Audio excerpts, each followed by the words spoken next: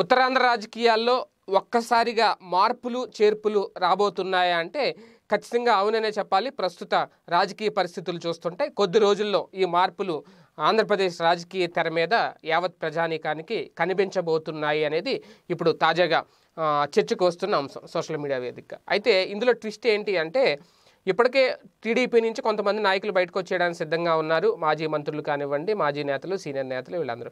TDP నుంచి వైసీపీలో చేరతారనే ప్రచారం జరుగుతున్న నేపథ్యంలో అదే టీడీపీ నుంచి భారతీయ జనతా పార్టీలోకి వెళ్ళేందుకు ఒక ఇద్దరు నేతలు సిద్ధంగా ఉన్నారు అనేది. ఆల్రెడీ గంటా శ్రీనివాసరావు గారు వైసీపీలో చేరబోతున్నారని ప్రచారం జరుగుతున్న నేపథ్యంలో మరొక మాజీ మంత్రి టీడీపీకి చెందిన మరొక నాయకుడు బీజేపీలోకి వెళ్ళడానికి సిద్ధపడుతున్నారు. అదే ఉత్తరాంధ్ర నుంచి అనేది ఇప్పుడు జోరుగా జరుగుతున్న ప్రచారం. ఇదే నేపథ్యంలో వైసీపీ నుంచి కూడా ఒక నాయకుడు ఉత్తరాంధ్రకు చెందిన ఒక నేత ఇప్పుడు భారతీయ జనతా పార్టీలో చేరబోతున్నారు అనేది ప్రధానంగా ఒక చర్చ అయితే నడుస్తుంది ఒక ప్రచారం అయితే జరుగుతుంది. ఎందుకంటే ఇప్పటికే చంద్రబాబు గారు చేసే ఈ ప్రచారాల వల్ల చంద్రబాబు గారు లేవనెత్తుతున్న కొన్ని అంశాలు రాజీనామాలు లేదంటే పదవులు త్యాగం చేస్తాం. ఇవన్నీ తట్టుకోలేక చాలామంది నాయకులు టీడీపీ నుంచి బయటకు వచ్చేయడానికి సిద్ధంగా ఉన్నారు. వాళ్ళు వైసీపీలో చేరలేని పక్షంలో బీజేపీలో చేరేందుకు సిద్ధపడుతున్నారు. ఒక పక్క సోము వీరరాజు గారు ఎప్పుడైతే అధ్యక్ష బాధ్యతలు వహించారో ఆయన దృష్టిలో పడ్డ కొంతమంది నేతలు భారతీయ జనతా పార్టీని బలోపేతం చేసే దిశగా ఆయన తీసుకుంటున్న నిర్ణయాలు.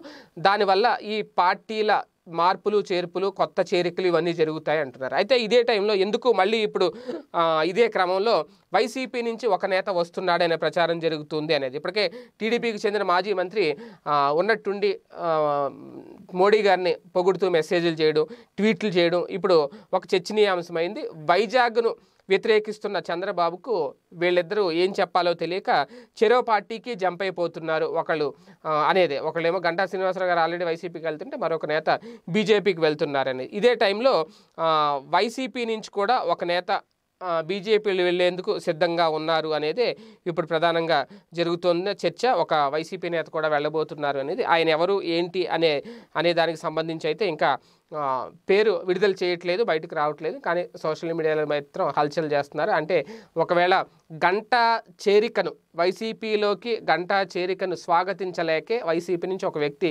బీజేపీలోకి వెళ్ళబోతున్నాడు. అందుకు సంబంధించిన ప్రణాళిక సిద్ధం చేసుకుంటున్నాడు. ఒకవేళ నిజంగా గంటా చేరిక నిజమే అయితే ఒకవేళ గంటా శ్రీనివాసరావు గారు నిజంగా వైసీపీలో చేరడం పదహారవ తారీఖున ఫిక్స్ అయితే కొంతమంది నేతలు వైసీపీకి చెందిన జూనియర్ చిన్న చిన్న క్షేత్రస్థాయి నాయకులు కానివ్వండి అలాగే ఒక సీనియర్ నేత కూడా బీజేపీలోకి వెళ్ళబోతున్నారనేది ఒక ప్రచారం జరుగుతుంది. ఇది స్పెక్యులేషన్ వార్తగానే మిగిలిపోద్దా? నిజానిజాలు ఏంటనేది కొన్ని రోజులు ఆగి చూడాలి.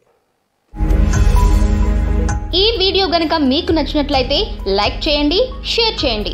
మరిన్ని వీడియోస్ కోసం మా ఛానల్ను సబ్స్క్రైబ్ చేయండి.